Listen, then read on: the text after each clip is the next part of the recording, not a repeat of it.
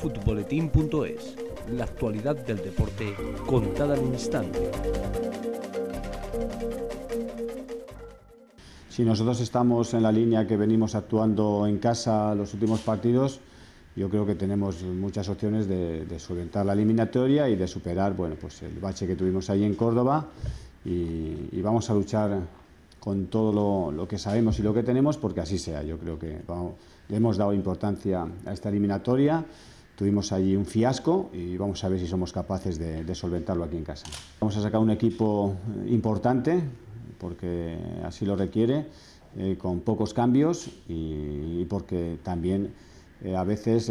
los jugadores no pueden jugar de seguido o algunos recuperan mejor que otros, pero lo que sí vamos a hacer es que va a ser una alineación con, con, pocos cambios. Yo creo que acabamos un partido, nos metemos en el otro, sabemos de la importancia, todos estamos muy concentrados en ello y, mañana ya es seguro que desde la primera hora, desde el primer entrenamiento a las diez y media, vamos a estar todos muy metidos y muy concentrados en, lo que tenemos que hacer. Van a salir Pinillos y Cristianeros laterales y Ponce, es la misma defensa que en Córdoba, lo demás eh, va a ser prácticamente el mismo equipo que viene, que viene actuando. Tenemos que salir sabiendo que son 90 minutos, que los goles eh, ojalá lleguen al principio que serían fundamental, pero si no hay que tener paciencia, pero una paciencia con intensidad y con ritmo, no, no podemos jugar lento.